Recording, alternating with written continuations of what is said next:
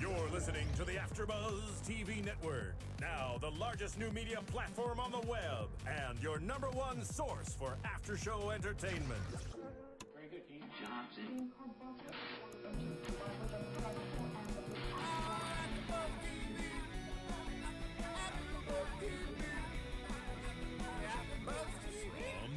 AfterBuzz Studios in Los Angeles, California, presented by Maria Menounos and Bing.com, and streaming live thanks to Akamai Technologies. This is AfterBuzz TV's Mad Men After Show. We'll break down tonight's episode and get you all the latest news and gossip. If you'd like to buzz in on tonight's show, you can buzz us at 424 256 1729. That's 424 256 1729. And now, another post game wrap up show for your favorite TV show. It's AfterBuzz TV's Mad Men After Show. Mad uh-huh. Men, Mad Men, Mad Men, Mad Men, Mad Men, Mad Men.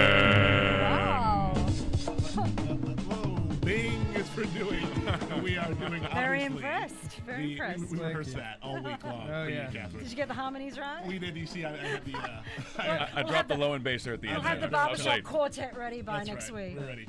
Backstreet Boys, eat your heart out. Yeah. In kind of album. Uh, Bing is for doing, and we are doing the uh, Mad Men After Show. I'm Joe Braswell. I'm here with look the gangs. We're, we're finally here. This is our group. The gang's all here. The gang's This- all this is here. Sterling Cooper Draper Price. Exactly. Yeah. The Mad Uh, Men can I crew. be- I'll, I'll be Draper. I wanna Uh, be to my- Sterling.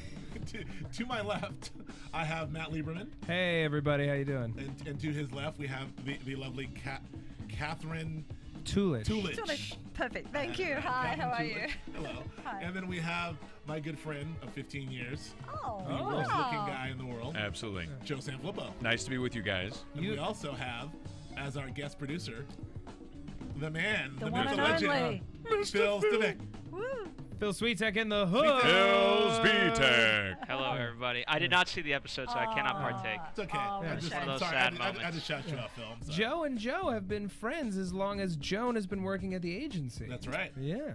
Neither of us are partners, though. Uh, we were, we were certainly not partners. And, no. and my boobs are bigger. okay. I don't.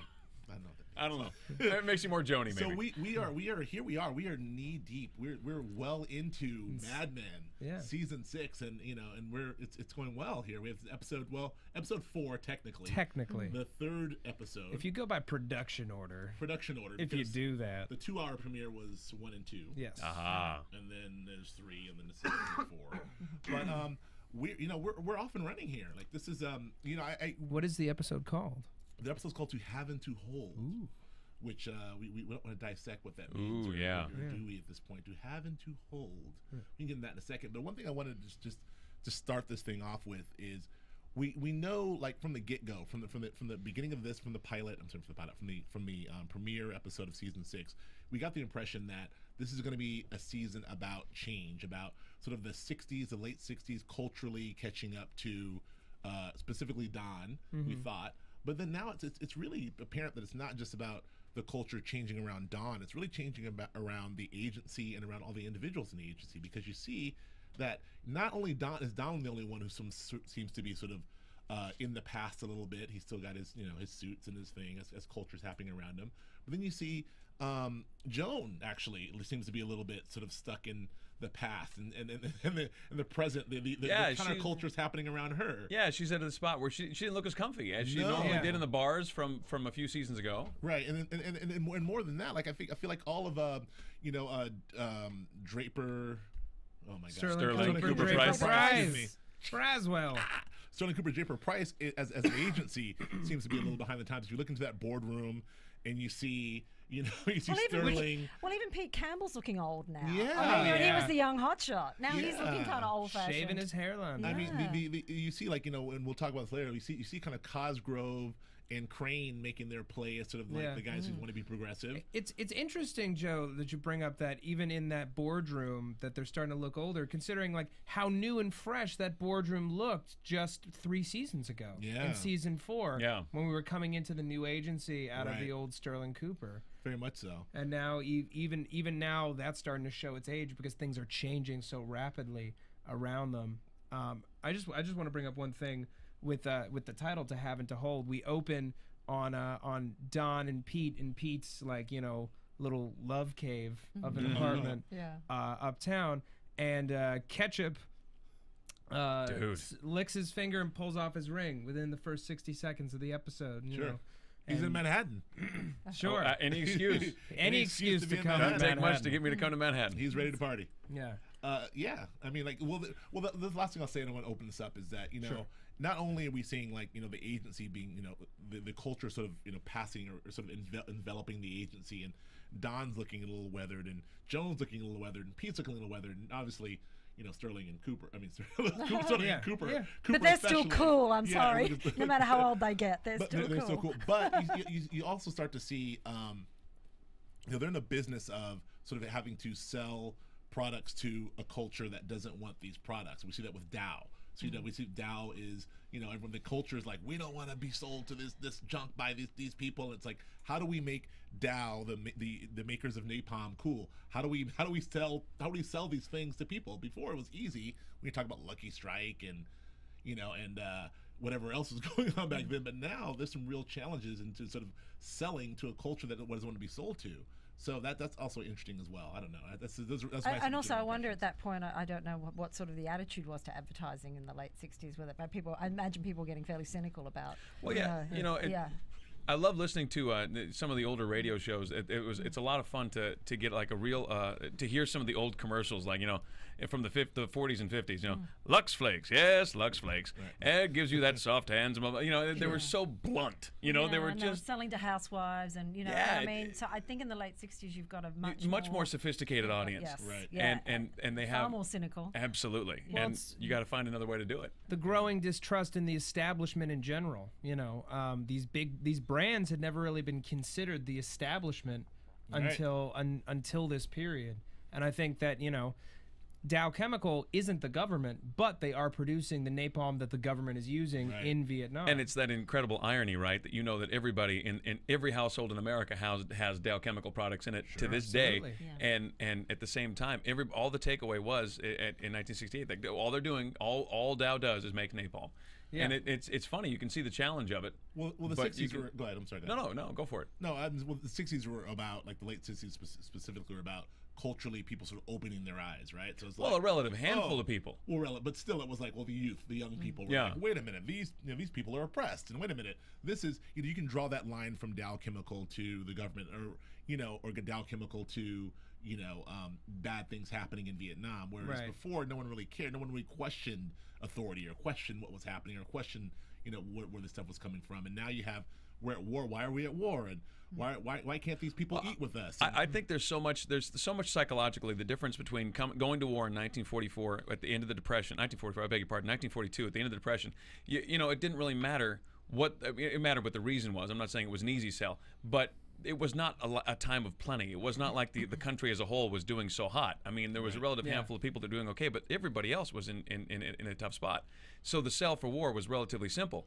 But the sell for war in Vietnam, especially a complete war of choice where there was no danger of us being invaded, you know, yeah, Sounds familiar. right, right. that sounds familiar. I, I wonder if there's some crossover to today. I don't Oh, know. gee. That's some imagination. you've got. But you Does everyone say history repeats? Right too, and yeah. it's uh, ah it's so frustrating and the same the same company still driving the boat but it, it's uh, it's remarkable uh, how how much harder it is to sell to a, a population that's well fed and that is doing well and is making money you know and, and then you're saying all, all this good stuff's happening but yeah we got to go invade this country i think that's a much tougher sell than when things are rough Right.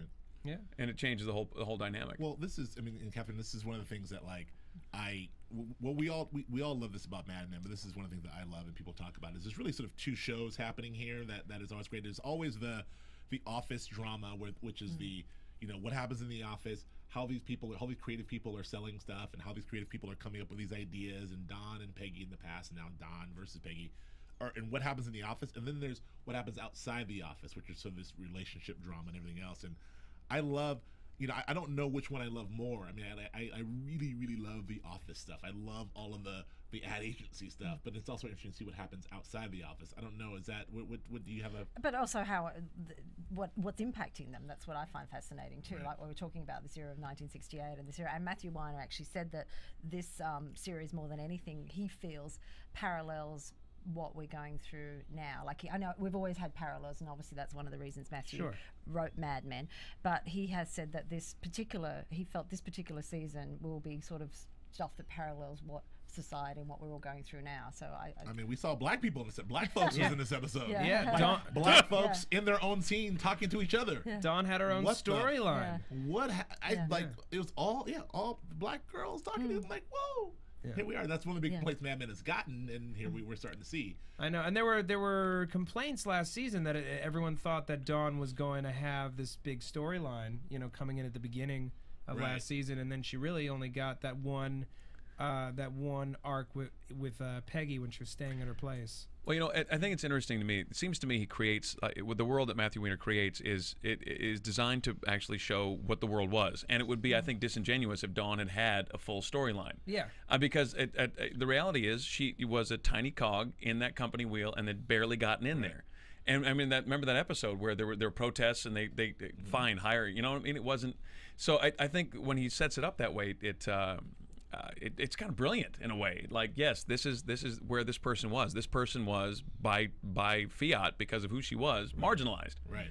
and it ought to feel that way Well, I mean, and also like it, it, it's the story's not it's not Don's story. I mean, it is as much as I, as an African American, would love to see you know, a, a story about Don and, and the gang and everyone else. But really, it's this, the story about these put people and, and through their world. And so Don was inserted into their inserted into their world. Now we get to see Don in the office and sort of everything happened from that perspective Right. in 1968, which is frankly very interesting. You know, to me. I mean, we'll we'll, we'll see how this goes, but I think the time is right to introduce it in 1968 as opposed to in the past. So Yeah.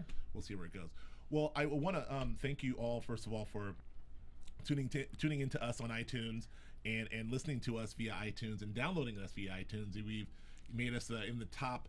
You know, we're we're always in the top two or three shows on AfterBuzz, and we're doing, and we really appreciate that. We're just getting started, so you've already had a, a bunch of wonderful comments for us and have given us a lot of uh, fives and good ratings. And um, there's a friend of mine named Joe Sanfilippo, and he feels a certain way about fives. we we love fives That's right. That- That's what we, we love fives. So uh, we really appreciate the fives and, uh, and and everything you're doing. Please continue to download us, and not only us, just all the rest of the shows in AfterBuzz. We have you know 50 plus wonderful shows, and so there's lots lots to check out. Fifty plus a week we're doing A doing. week, uh-huh. Yeah. that's pretty amazing when you lay it all Millions of out Pretty downloads. remarkable. millions of downloads a week. So there, Yes. there you have it. we don't know when Phil sleeps I'm not sure that he does so let's let's get into this. I want to get into sort of the episode. You forgot the big development. Oh my God! Yes. How Skipped over I that. the big I don't know. This is why Phil, oh. Phil's here. We Braswell. are now able through through. Don, I think maybe that's your cue. Yeah, we have Mad Men drops actually. That's, that's awesome. We have so we're now able to big, big, big, big news here at AfterBuzz, and for you guys out there listening, we are now able to stream our, our, our shows via your iPhone and your and your iPad and your Androids. What? Um, yes what? yes never before available. Exactly, never before available. I thought that was going to be an AfterBuzz TV exclusive. It was. That was breaking news. Oh, breaking- okay. that's a That was breaking the news breaking news sound. So so now um, not only can you you know you know check us out on YouTube and check us out you know um, as you've been to, on iTunes and every other place, but now you can actually on your directly on your device watch us, listen to us wherever Live? wherever you go. Like, it's walking Live, down the Phil? street. You can be walking down the street watching it. would it would it be No. live, Phil? Phil would it be That, live it, that it would be, of course. Oh my Yeah. god. Ooh. So there's someone right now who's ahead of the game. So Hopefully not in telling their us that- car. Right, going, would you please get on with it and talk about the damn talk show? about the damn episode. Like I get it. so Yeah. so check that out. So that's a big development. So you can you can folks can do that. There's many ways to find us here at AfterBuzz. Now let's get into the episode. We only have five minutes left. We'll see you all next week. we'll see you next week. Uh, no, let's get this. So, so, so, Flip. Um, why don't you give me your sort of takeaways? What leapt out at you this week? I, I want to talk about Don and Megan, and and I, I, I just their relationship to me is so is so it's so fascinating on so many levels. But Don is a character. Like I mean, he's just he he does these things. You know, he does the uh, he's constantly cheating. He's constantly doing things that he encourages other men not to do. Like his relationship with Pete is hilarious because you Pete, you have everything. You have it all. You know, remember that when he's sitting in Oh, with yeah, Pete? last season. Remember that? He's like, "You have everything. Pete. Why would you? Why would you blow it?" And the contempt Right. that he that he shows Pete, like, "How could you do this? You, you disgust me that you would know, even think about Pete, it." Pete Yeah. wants to be Don, and Oh, Don. Yeah. desperately, Pete. yeah. But but from Don's point of view, Pete shouldn't do this stuff because Pete is of value and Pete should value his wife and his family. Sure. But Don doesn't do that in his own life. He doesn't value himself and he doesn't value his his own his stuff. Yeah. He's constantly risking all of it for uh, from my point of view nothing. Can I ask you a question? Yeah. Are we supposed? I mean, like, this is the thing that comes up over and over again. But is Don likable? Because we, you know, look. Let, let me, I let me- I like got two him. questions. I know. Well, this is the thing. Let me just let me just ask this question in two parts.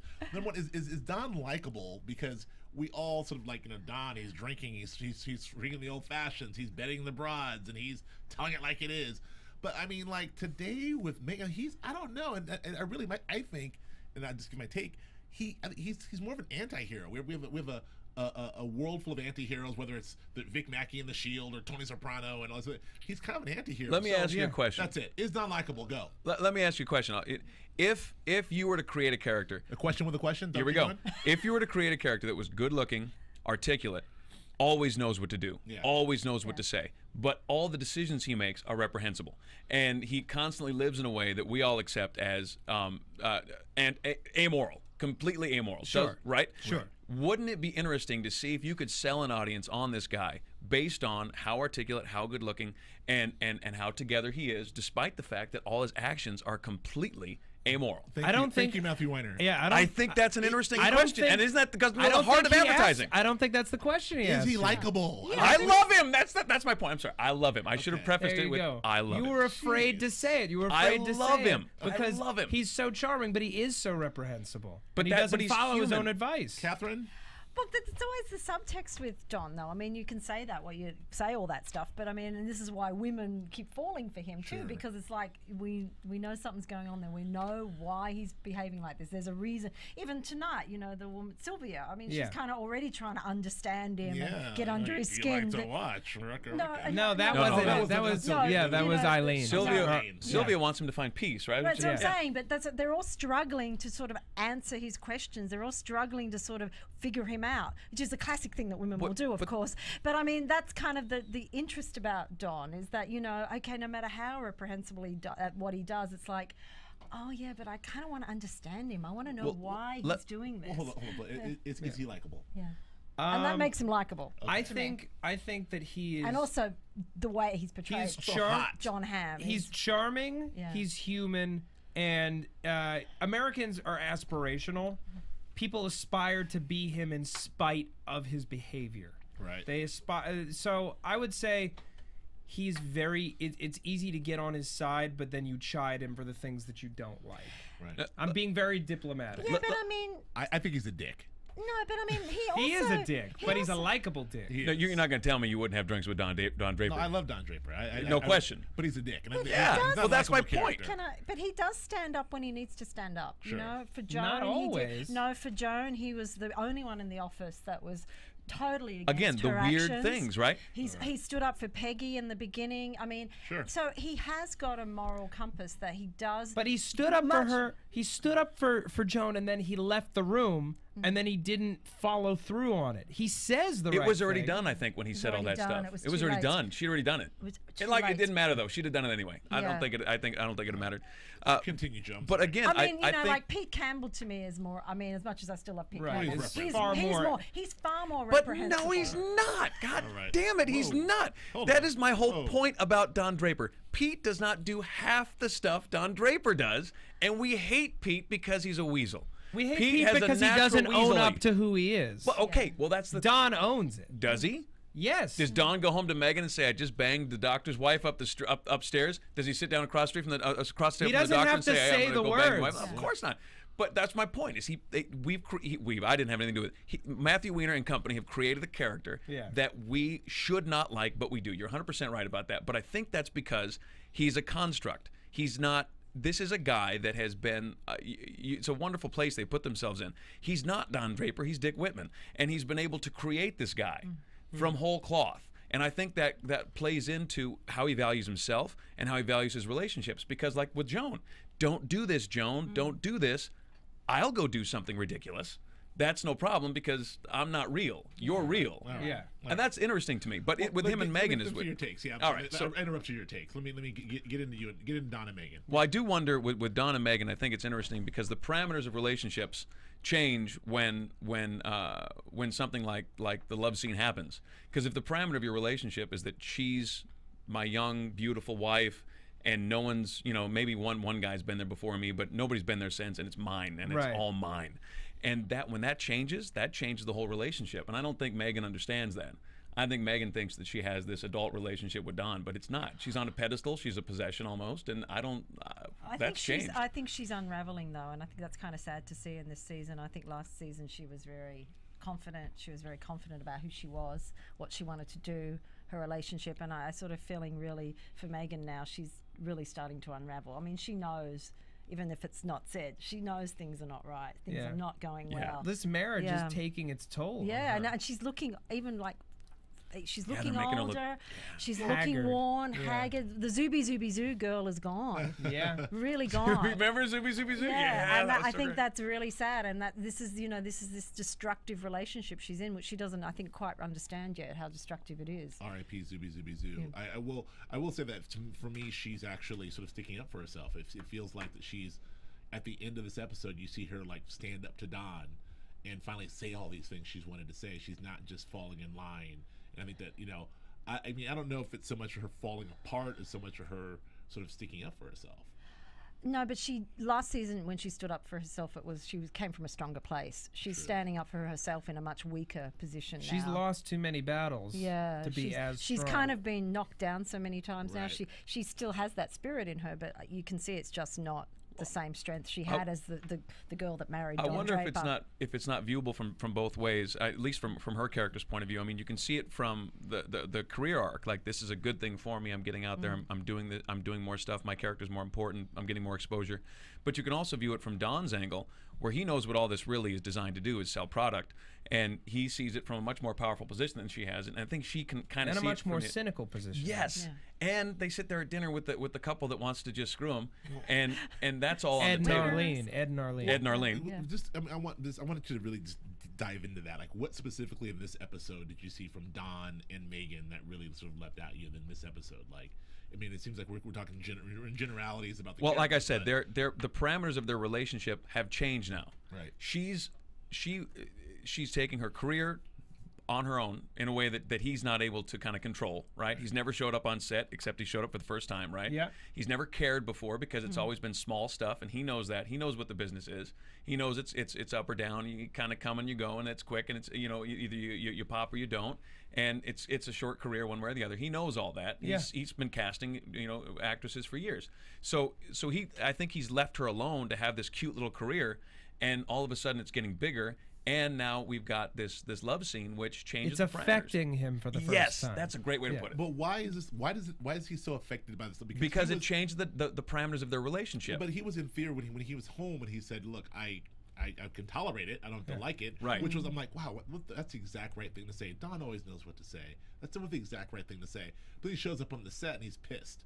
So course. what what changed from that moment to the to the to the to when he Oh, nothing up? changed. He was lying. yeah, absolutely. He was lying the first time because he didn't. He didn't want to reveal. He didn't want to reveal that he wasn't happy with the direction her career was taking. He wasn't happy with her career last season when he walked away in the Phantom in the he- season finale. he- He's he- giving it to her because he doesn't have another option. That's it. Mm. He never wanted her to be an actress. He's No. just kind of allowed her to be, but he's Right. never been in favor of it, never supportive of it, really. Yeah, Yeah. Flip. I want to. I want to ask you two things. One, um, you were talking about Megan and Don's relationship. That scene where she's trying to put one over on her husband, and you know you have sort of the two strategies, and talking about how she's maybe not in as strong of a position this season as last season. Would she have even tried to go for the subterfuge and like play this little this little game, or would she have been direct with him last? Which season? one were you talking about when she was saying it at dinner? Well, we're we're we're, we're really Like I'm making you coq au vin. Oh, yeah, yeah, yeah, the Let's whole thing. sit down. I'll make you Yeah. a cocktail. Right. And then she's like, I can't even put one over on my own husband. What good If am only I? someone would make me some cocoa, goddamn man. I don't even know what it is. That sounds It's a beautiful French It's stew. a French fan- stew. it's- Is that what it it's is? got White bra- It's got white. No, got brandy. It's usually cognac. It's cognac. Sorry, I'm a cook. I like cooking. Yeah. Tell me what's in it. Tell what's it. Tell everybody. You, well, it's chicken, and then you, you also have like onions, and you you stew it, but you have like brandy. You put wine in it, and you, you cook it for a long time, and the flavors are. That's like a Julia Child dish, right? Yeah, She wasn't that wasn't this right in that Magnificent, period where she was uh, doing her art of French cooking on TV? It would have been, yeah. Yeah. This is, So I right must when tell you, popular. Yeah, this is probably actually you're right. This is probably the time Americans were discovering Yeah. French cooking. yes. Right. I, I, I've been married for ten years. If if I come home and my you never wife, got a coq au vin? oh, are you kidding? Uh, surely you jest. My, don't worry, my wife will never see the show, so it doesn't, it doesn't matter. She'll never listen to this. He's lucky if he gets a bottle of Von. Ser- no, seriously, Coco seriously. There's a Cliff Bar in the fridge. You know, it's- Hey, hey, I'll cook you. I'll cook you guys some coq au vin and bring it in. Hey! yeah. All right. Yes. Now wait, now everybody, you heard that because Yeah. that's got to I happen now. make, I This make is a an good internet one. promise. I make a good one. All right, one. now my, my other question. So, well, I'm just saying, if, if Right. I come home, if I came home from my hard day at the office, whatever, but if I came home, you'd be suspicious. I, I, if, if that was all laid out, if Coco, first I'd, I'd probably be poisoned because my wife would probably kill us both cooking something like that. But, but um, I, I would absolutely, and Yeah. and it would be, I'd be waiting for the shoe to drop. There's no You'd be question, like, "Who are you and what happened to my wife?" right? What's going on? Yeah. All right, where where are you going on vacation without me? What's what's, what's happening? The other thing is, uh, you mentioned your point of, of Don as construct Mm-hmm. because he's not Don. You're right. He's not Don Draper. He is Dick Whitman. Do you think the reason why he's so d- self-destructive with Don Draper's things is because he feels like he doesn't own any of them in the first place? I, yeah, the whole it's a borrowed life. You're 100 percent right. The Oh, whole that's a thing is a take. borrowed life, and so he's built this thing. That's why he's so angry. I, it, it, I- I think that's why he doesn't va- value himself. Mm-hmm. Like, I mean, you don't destroy things you value. If you if you value your relationship, you don't destroy it. If you value your, your, your car, you don't drive it into a wall. I mean, these are these are ba- basic, simple things. But Don doesn't value this stuff because you're right; it's not really his. yeah. Right. He's Dick Whitman. Everything is borrowed. Everything could come toppling down tomorrow. Huh. It's interesting. I, you're, you're 100 percent right. I mean, here's a guy. It's a construct of a, of a character. That's, that's that's great. Well, it, but why? Then well, I'm gonna get I'm gonna get to you in a Okay. second, Matt. But I just uh, piggybacking on this, which will transition into you. I want to get like a little bit of this Project K. Then why? What makes him such an effective and wonderful creative? Because he is the quintessential creative director. Like he's he's still. I mean, although his suits may look a little outdated and his the shines going coming off of his uh, seductive ways, he can still freaking you know his creative juices are are still flowing. He's still coming up with great stuff, in my opinion. I, th- I thought the, the Heinz ketchup thing was. Oh, great. that was a Uh, beautiful but, but, but his, Uh, his but his his his his thing I liked too. it. Well, his need to sort of do Project K with Pete and Stan, and you know, um, why is he still Mm-hmm. Are able you, to? are you familiar with M Butterfly? Have you ever? M Butterfly's a play, right? And it's Yeah. about you. You know, what I'm Madam talking? Butterfly. Yeah, Yes. and it's about uh, uh, it's about a is, is it Vietnam? Is, is it Yeah. Vietnamese? Yes. A Vietnamese Katoy essentially that gets with a French diplomat, and he they're together for 20 years. Is it 15, 20 years? Something inordinately Yeah. long, where the, the the French diplomat should have been able to figure out um, this girl's a boy, and never did. and the reason is because the, the idea is, is is that that no one can play a girl a, a girl like a boy. No one can play this part better than a man trying to be a woman. Right. So no one can play an ad man better than someone playing a role in the first place. He's pretending to be Don mm. Draper all the time. So he's always it's always an act. Yeah, but but that has, doesn't explain how why he's so great at it. Well, no, I, I think that I think that you're onto something. Just because he's he's worried about people seeing through his facade all the time, so he's a, he's a reader of people. He's all, constantly in survival mode, and because of that, he's become a, a very effective reader of people and their motivations. He's trying to understand, you know, what would what would Don Draper do in this situation? How do I feel? What's the disconnect between the two? I think that there's there's something very vital to his existence that's helping him out. It's it's this survival instinct that's that's providing him with this kind of juice. If he doesn't continue to provide, you know, if he isn't able to continue to to work at this level, there's a there's a chance that his life will unravel. Huh. So the so he's so under the gun trying to stay on top of being Yeah. Don Draper that he's forced to sort of operate at a creative. Well, at a- when- when a you ha- creative, this creative scene, if he's able to like really stay up up there, because if he doesn't, Right. it all comes tumbling down. And the and the f- he doesn't even have his own name to fall back on. Right. That's interesting. I love, I love, well, I love all these takes. These Yeah. Good, good hot Don Draper takes. So, well, li- li- now we're here, Matt. What, what, what leapt out at you this episode? I mean, what, what, what did you? I know you, you mentioned uh, our boys, uh, Yeah. Harry and Cosmo. Yes. so- Uh, Wait, he- we're not going to talk about the biggest scene which one? with Don? Well, we're gonna get which which one is this? We're talking. He's At talking about end. Sylvia and the penny Oh, we're gonna and the Yeah. cross. No, well, What? As, No, we're not going to talk about it. we are going to talk about that. But I, I, was, I was hoping we could talk about that with Katherine because she wouldn't talk about the women. And but we can talk about that right now. That's actually all good. right. Yeah, so then, why does Don Don. go? So why is Don having this affair? Right? Is, is that the question? Well, the that's that's a deep is- question. Because Don. Well, this kind of well, no, no, this just kind of speaks to my thing. Like Don, like he does, he he's a, sort of this wonderful woman. He shows up on set, he gets pissed, and he and he goes back to be with uh, his, Sylvia. his Sylvia. He's Sylvia, got. Rosen. He's got to even the playing field again. Now the playing field's tilted back down. He's he's always up here. He's always got one more thing going that Megan doesn't have. He's always got a secret. Right. He's always got a mm-hmm. girlfriend. He's always got something happening. Now she's up here. She's as far as he's concerned, that makeout scene levels the field. Okay. She What's with all the, times he's banging the upstairs neighbor, she kissed that one dude for 30 seconds. Even, even Stephen, He's I got to know, get back that- up. well, no, he didn't see it as even. That's the sad thing. He was like so annoyed at Yeah. me, and I'm like going, "What are you doing? What- Oh, she's just fake acting, and you're Right. doing the real thing." But that's cool. yeah, but he's upstairs doing Daphne. I mean, that's deep water. He's, he's he's always the double standard guy. Obviously, like uh, he's been that way since back in the Betty Draper days. But what, what's with the cross? What's with the like? You know, what? what I mean, it, it seems pretty literal again. Like, you know, but pretty obvious. But what, what Joe? What, do you, what do you, what's with the cross? I'm not sure if he didn't want to see it or he didn't want uh, he didn't want it on her. Again, I'm, I'm always torn with Don because I think there's so many times when he values other people as real and himself as not. And I don't know if the cross bothered him or if he thought the cross was going Right. to bother her. Or is it like I can't I can't you know bang you with this cross on because that makes you something else, or I can't do this act looking at a cross? Well, Right? I, I don't know. I think it's it has a lot to do with what she said. She said, you know, uh, he asked her what she prays for, and she said that she prays for him, you know, to to curb his demons and and To find he- peace, right? To find peace, and he doesn't even want to think. He doesn't want this woman to even be thinking about that. You know, So- you, I'm sorry. No. Can, I- can I ask you something? With Yeah. you all being men, um, what do you think she, he's getting out of sleeping with all these other women? I mean, I'm kind of fascinated I what it is. I mean, he's not like what. I mean, It's- is it an is it a power thing? Is it an escape? Or Well, Here's Mich- my Mich- take. I'll yeah. give you my Yeah. take. Ready? please, please. Phil Ladies and Svitek. gentlemen, Phil Here we go. Svitek. Phil. yeah. Again, prefacing, I have not seen this tonight's Yeah. episode, but um, no, it's it for me. It stems from it's as you guys are talking about. It's Yeah. revenge, right? Yeah. So going back to last season, him, him and his wife Megan, they were a great duo, Mm. right? But now he's lost Peggy and he's lost her, and so he's he's doing this out of revenge for her. I I think ultimately. I mean. It, the, the scenes of last season, they were such a great duo. They were hitting in full strides, and he wanted basically her to be side by side with him at the agency. Mm. Now she's not. She wants. She wanted to do her own thing, Yeah. and that Right. that is upsetting. I think it's I think it's twofold. I mean, M- Michel Foucault in A History of Sexuality, he says, um, you know, all everything is about sex, but sex is about power. So, like, I do agree. It's it's it. You know, as somebody who's been effectively he effectively has neutered himself by taking on this other this other life. Mm. He'll never get to fully be himself, and I think he is more Dick Whitman with these women Sure. than he ever will be with his wife. Wives, right. Right. So he's Don Draper with his wives. He gets to be just a. The, he and gets, to, be, Dick Whitman with these other women. He gets to have both. He gets to be, you know, raw sexuality and be vulnerable at the same time. And it's it's a standard cliche thing of you know. I mean, look, he's. I mean, he's empty. He's got an empty place, and he's looking for a hole. It's a horrible choice of words. He's looking for a hole to fill.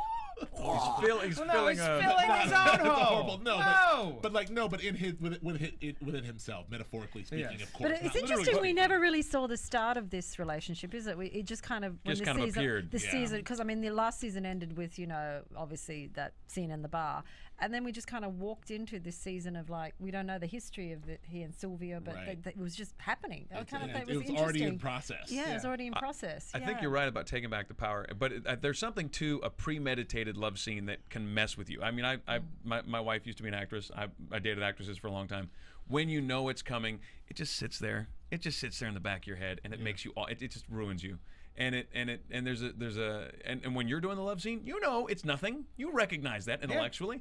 But when it's your it's your wife, your girlfriend. So you're saying you don't like looking? You don't. Oh, it's, awful. terrible. it's, is it's awful. It's horrifying. And and How it do is. Angelina and Brad and all these I other people I cope? honest to God, I don't know how they Many do it. of I really they don't. just don't watch the movies they're in. Yeah, period. obviously. Yeah. Yeah, but Well, But- even Jon Hamm and Jessica, you know, he, he's married to an I do not too, understand Yeah. how people do it. I've never Jessica been able to do it. Well, I, But- go, uh, go ahead. I, I, Sorry. want you to get into you. you. You can, but this is your floor. But I want you to say your say your Yeah. Take and then get into your. no, that, that's what I wanted to say. What I liked about this episode was after uh, a lot of you know, exploration of Don and relationship material. We got to see more of the cast this week and more of uh, SCDP. Definitely. Yeah. Yes. And uh, we have uh, Harry Crane making a move. Big baller Harry Crane. yeah, Yeah. coming out of nowhere. You know, this guy Pursuit Harry with all these. exactly with his with his sideburns. Yeah.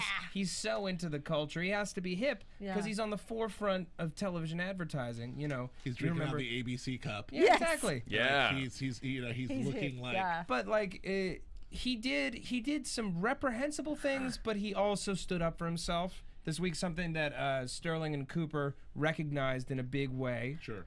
Um, I do, you know, like the guy's responsible for so much of their business. Sure. He he saw that television was coming. He made a play back in season 2 and then he's just been sitting pretty Mm-hmm. Right. ever since. I mean, not happy with it, but he wants to be a partner. Well, this is this is another case of the world changing around Sterling Cooper, Draper Price, the world changing around these guys. Yeah. And then there's a handful of people, you know, like like like uh like like Harry, who's like, well, actually, I've been here. I'm changing too. Yeah. I've got sideburns. I've got a sports coat. I, I, I, I'm, the only one who sees what's coming. And- I'm the I'll- only one who's evolving in a big way. And while you guys are fighting over freaking ketchup and Lucky Strike, I'm over here making moves and deals. And, Right. Yeah. And, th- and things in my in my in my spare time, I've just did a move to solve a problem, and it's actually brought in, you know, $150,000 worth of business. $150,000. And, and what does that translate into today's money? in my, you know, Was that a million a five today? Millions. I don't have my slide. I don't have my calculator in front of me. That'd but- be a lot. But and, uh, it is, you know, and and with that whole thing with Scarlett, uh, he didn't have a choice. I mean, Joan Joan essentially took his power. yeah. Joan said, "I'm firing your secretary today." Yeah.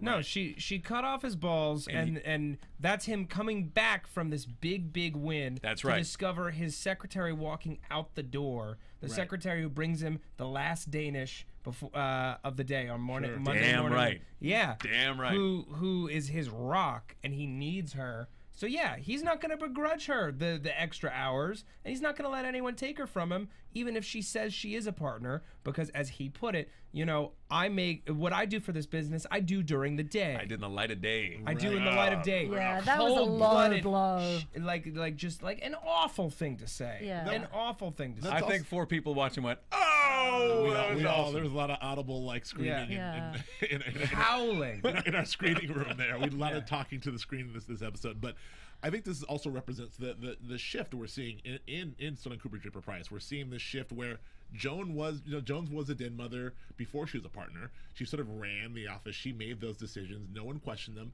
Certainly not freaking you know Harry Crane like Yeah. of all people, but Right. no one questioned Joan. And then, so Joan now as a partner, now really sort of feeling her oats, is doing what she always does, which is basically run the office and mm-hmm. and, and handle office politics. But because she has the title now, Right. it's an affront to the men who don't have the title. Right. Well, so so now Harry's like, wait a minute. It's a, you know you're it's already you're already a partner, but you can't take my.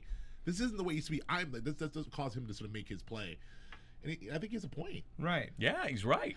Yeah, but she was right in what I mean. If she was running the office as she, I mean, she just saw it as something that was a fireable, you know, A an- fireable yeah, offense. A fireable damn offense. right. Well, I don't Yeah. think that Joan. I don't think what Joan did was wrong. No. and and I certainly don't think the way he addressed it was right, especially with a light of day comment. But I do think you know, in, a, in, a, in an office politic way, he needed to stand up for himself. Like I'm bringing in business. I'm TV. Well, like you said, times are changing, and and you know that would have absolutely been the right move at the old office. That would have been, and it wouldn't have been questioned. And but at this office, the way this is shaken out, a whole brave new world, yeah, absolutely. you can't. You fired my damn secretary. Who the hell do you think you are? And frankly, this is the part like like we talk about the the office part of the the office politic part of this show that I love. I loved seeing that that pitch. I love seeing that. I love seeing. Broadway Joe on Broadway. I mean, to see Harriet, uh, we, we, we see so much of Don and Peggy doing their thing, but to see Harry and Cosgrove, Yeah. you know, close that deal, that was kind of cool. I, and it was smooth too. It was slow. it's they didn't rush anybody. They're like, hey, Like in the Notre Dame thing, like the, yeah, that was hilarious. Yeah, Kenny, did you tell him I went to Notre Dame? He- no, no.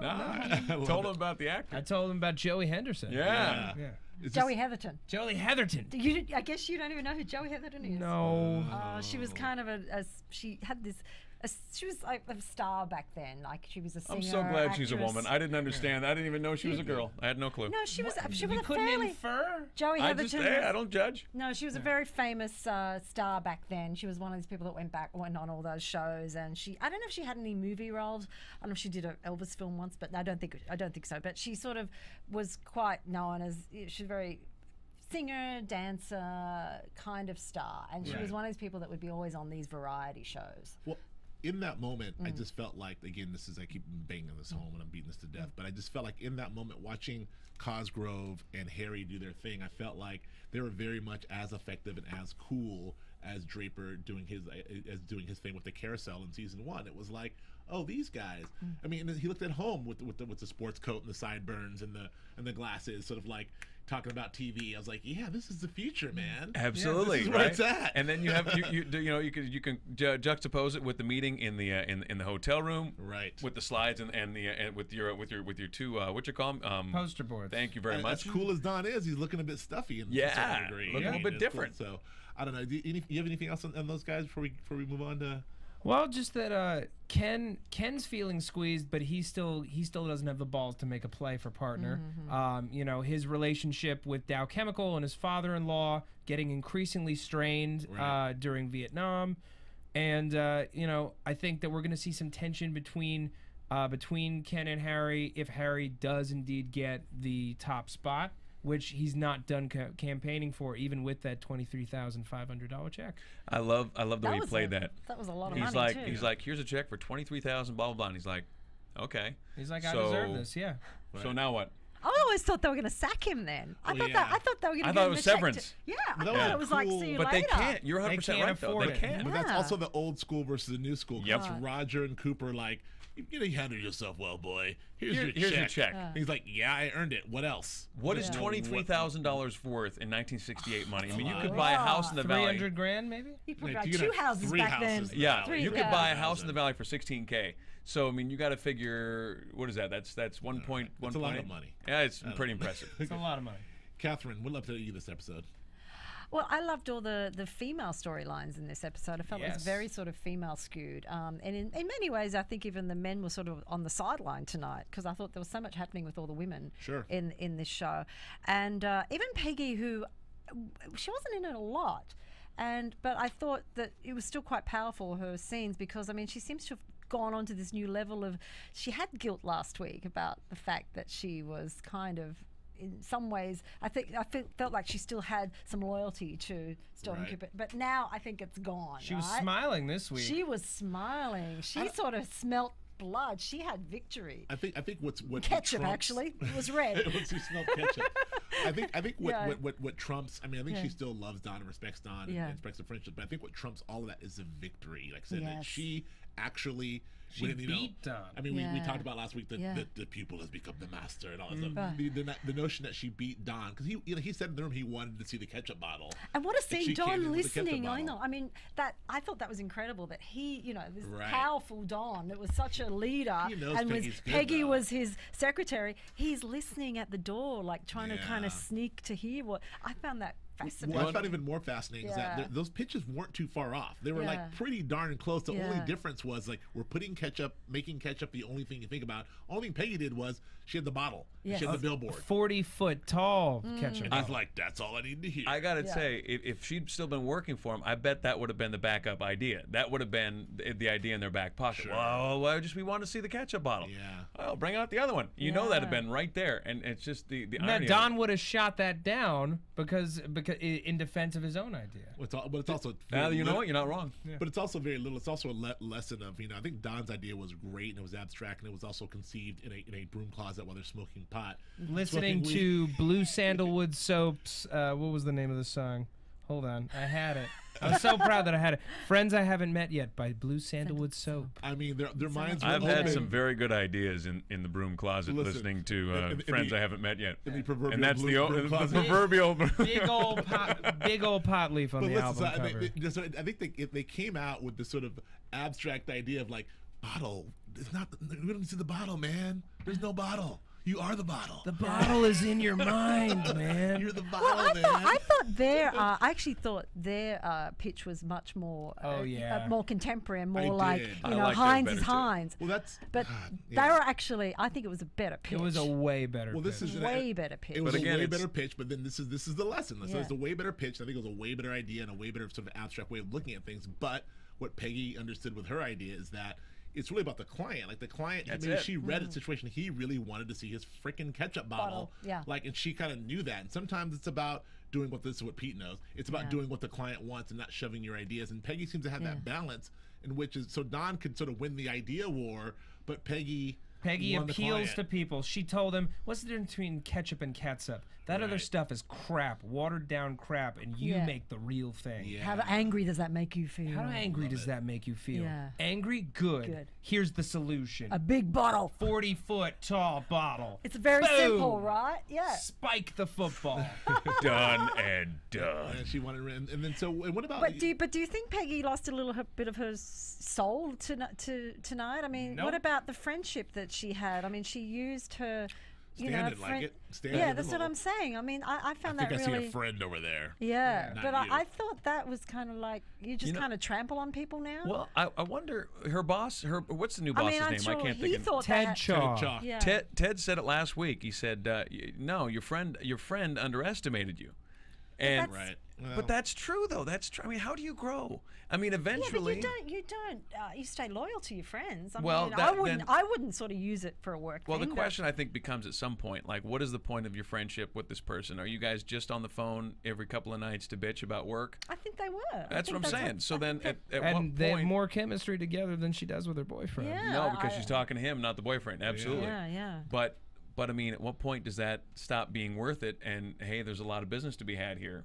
That's they- kind of the bitch of it all. It, it's not about. I, I don't think it's about the overall business to be had. I think it's about Peggy wanting that win. This was her shot Yeah. to have that But one at win. what cost? I still keep saying. and at you're what right about that. But I just just to your point, I 'Cause, don't, you I don't know that this is to both to both of you. I know that this is the status quo for Peggy. Like this is how she's gonna roll now. I think it was like, I I needed this win. Like I, I mm. got this win. Now I can sort of, you know, maybe she settles down. Mm. But if you do that once, you'll do it again. maybe she doesn't Yeah. smack around those three Yeah. stooges that work for her. There's no settling down. There's no. no, there- I just think you know Alright. that. My you- I think having- you've crossed a line there where you do that to a friend. I really do. I mean, I think so. Ted Chaough was. I Yeah, agree. Yeah. Ted Chaough was really he he looked like the cat that ate Mm. the canary. Oh, he was yeah. so proud of himself, ordering his uh his uh old Spanish and his whatever else he ordered. Uh, you know, there, there's no the there's no way, in my opinion, that that that, that this will be the end of uh, that. Peggy will be satisfied. That no. she'll be no. You, you Okay. what was that line from the Scottish play? My, my more having will be as a sauce to make my hunger more. I mean, Sure. yes, you're just you want more. You get Okay. some and you want more. I think she's gonna Well, she's gonna become a stone cold killer. out.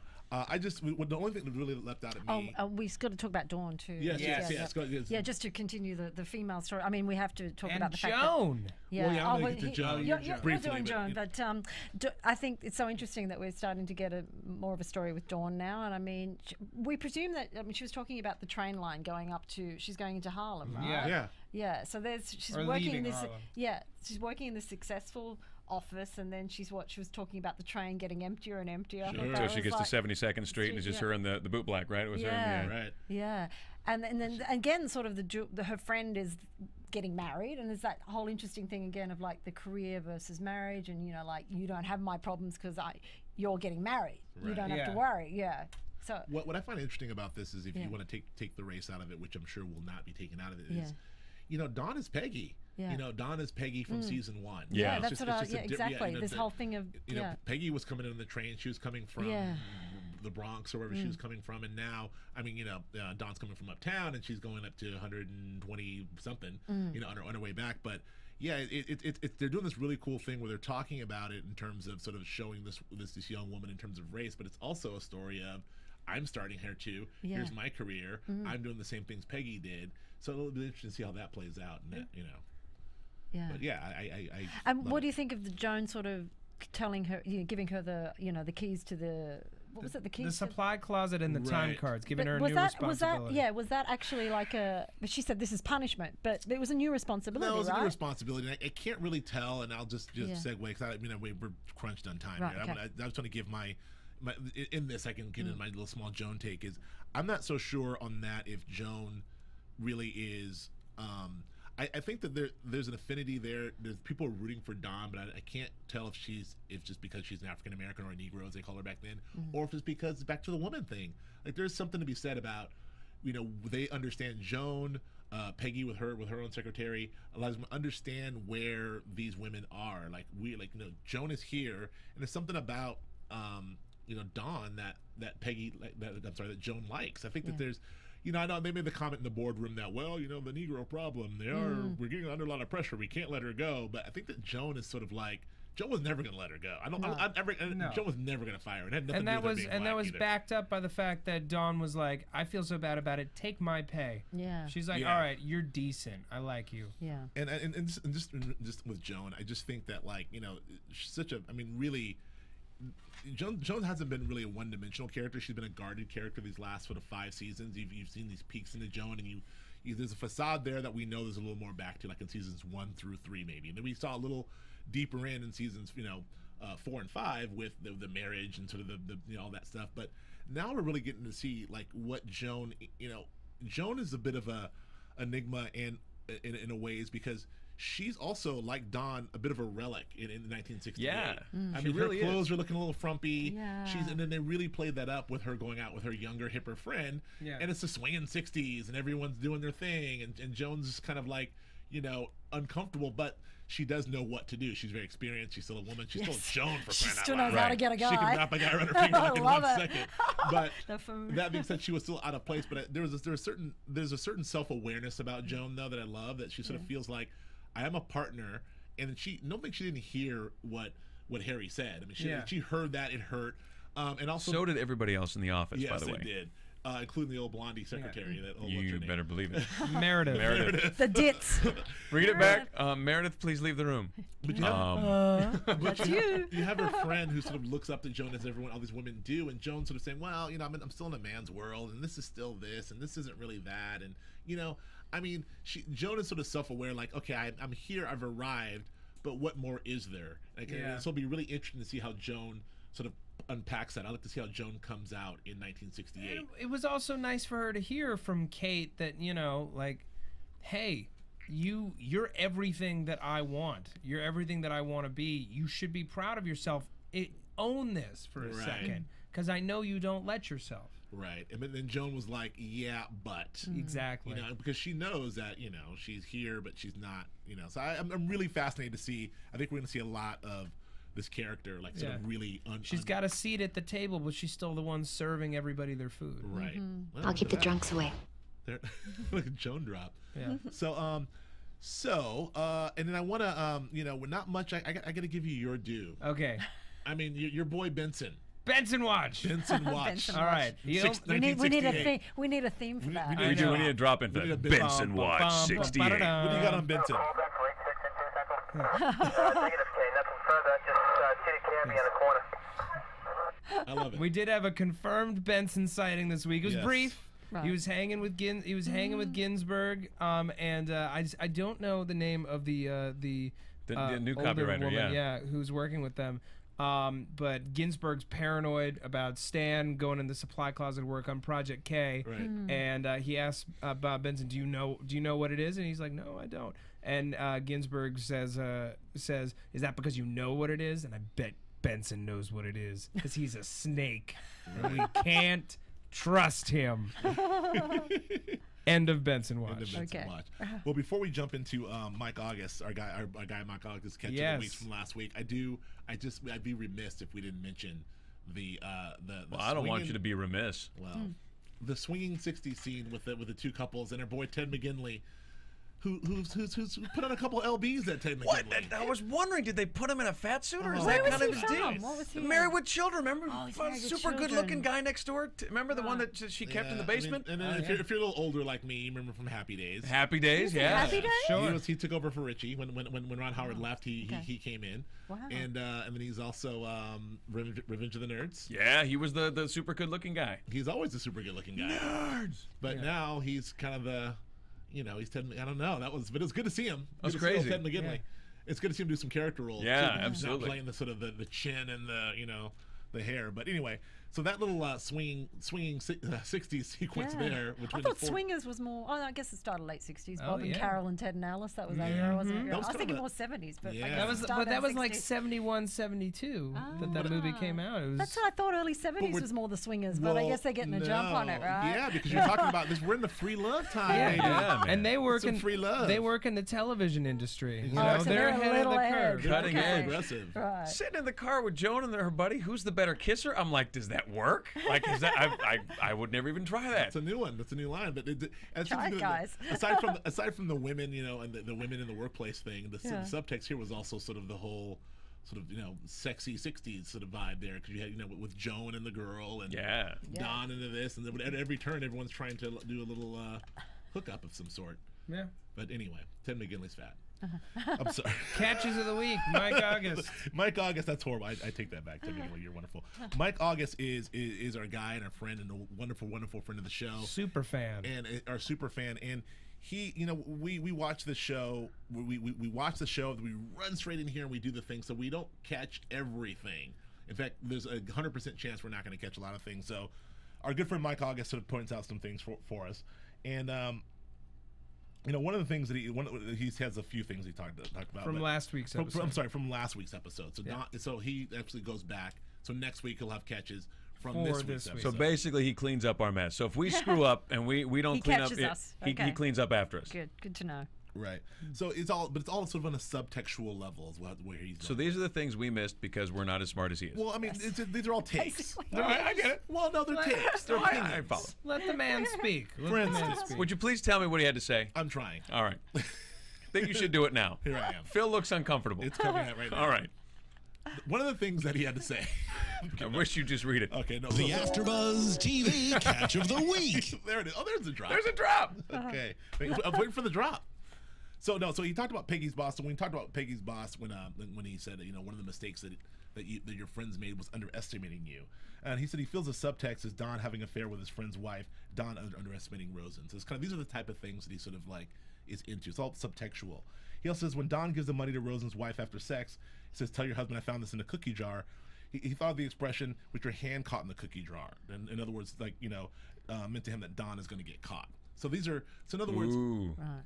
These the the, the the the the Mike August things are sort of like he he believes that there's there's things a, another layer here we're not looking into. Sub subtext. These are all sub subtext thing. Well, also, Uh, it also got referenced today in, in many regards of, um, you know, he said, basically Megan's saying, hey, you know what, uh, you know, I get paid to do this, and he says, there's another profession that gets paid to kiss. Yeah. That's right. Right. Yeah. And here's one you're gonna like, man. Prostitutes. Yep. Here's what he said. You know, the scene where Benson tries to befriend Pete, and you know, you know, he was thinking, you know, weasels stick together, and he agrees with Matt Lieberman. Yeah. He agrees with Matt Lieberman that Who- Benson's gonna who's Matt trouble. Lieberman? Which one is Yes, Matt I Lieberman? don't know. Who has two thumbs and just got name checked by Mike August? This guy. Guy. um, and he also says, you know, uh, Pete getting caught for one of his affairs, a warning sign showing to us that that, that this is going to happen to Don. Um, and so when Don does get caught, um, that's when he feels to be forced to truly confront confront his issues to cure his affliction. So I guess he's starting sort of saying that Pete getting caught is sort of a precursor to Don getting caught, and then when Don finally does get caught, that'll be the moment where he really has to sort of face. And he the said Don he dude. said affliction. "Well, I think I think yeah, He views it like like Don's a sex addict. Is that the? yeah." It says that is when he'll be forced to Who truly says confront, that he isn't? to truly Ah. confront his issues and cure his affliction. Mike August is is thought of uh, you know I, I got to be honest, Mike. I don't see Don curing his affliction anytime soon. I, I don't. Uh, I wouldn't call it an affliction. He cures his affliction every night. Yeah. he cures it good. Sometimes he cures it three, four times. right. He's Don Draper. God damn it.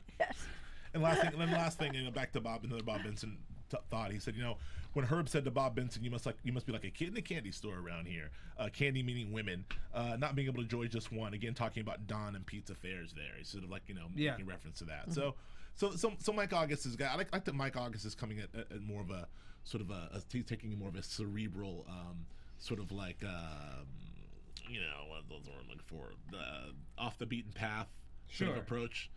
I can't think of the word I'm looking. Whatever it is, it's out here. It's it's out here in the You forest, know, off the a, beaten uh, path. The, it's uh, he's taking more of a I don't know. esoteric approach to this. Yes. That's a great word. He's he's looking for theme. He's looking for subtext, and we appreciate what and he with this the show, uh, you can go you can go deep. Right. Oh, I Whoa, hear whoa, I hear whoa, music. whoa. Predictions? Can we get predictions?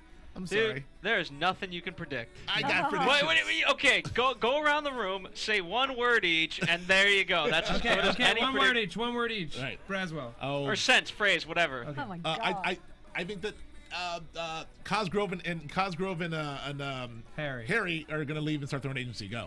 Benson, go. I can't think of anything. Sorry. All right, John. I, I think Roger Sterling and Joan are going to hook up again soon.